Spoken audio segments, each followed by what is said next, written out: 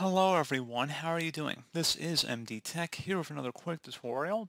In today's tutorial, I'm going to show you guys how to hopefully resolve if you're experiencing high CPU or memory usage when playing Modern Warfare Warzones on your Windows 10 or Windows 11 computer.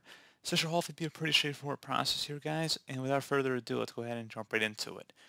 So first thing I would check is make sure that your graphics card is up to date. So if you want to go online and look up your graphics card manufacturer, whether it be AMD or NVIDIA, uh, and download their automated utility to go ahead and scan your system for applicable drives to be updated. I recommend following along with that. You can search on my channel how to update graphics card drivers for either AMD or NVIDIA. I have made tutorials on both of those matters in the past. So go ahead and check that out if you need to. Something else you can try as well, if you have a lot of other programs on your computer before you launch the Call of Duty game, you want to just close out of them so you have more free resources available. You may also want to consider upgrading your physical RAM on your system if it's available, if you're able to upgrade. So that's something else to consider as well. And you can also change your graphics settings too. Open up the search menu, type in graphics.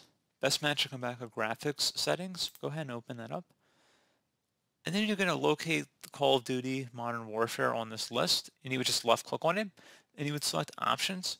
I recommend switching it to power saving mode as opposed to high performance if you're having performance issues. So I would switch it to power saving mode, and then you would select Save Change.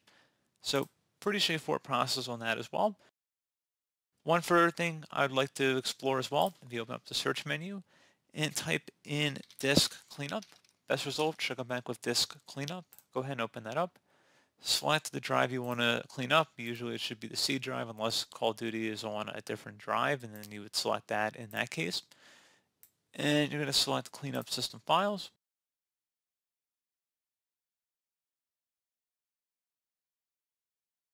And then you're going to go ahead and select OK. Make sure you want to permanently delete these files. Select delete.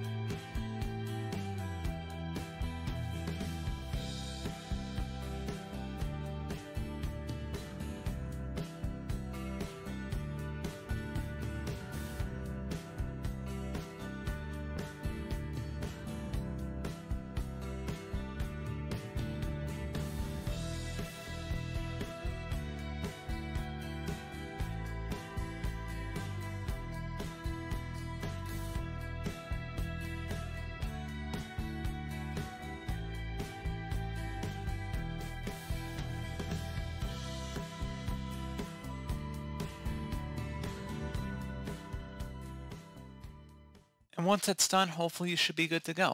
So as always, thank you guys for watching this brief tutorial. Do buzz hope to help you out, and I do look forward to catching you all in the next tutorial.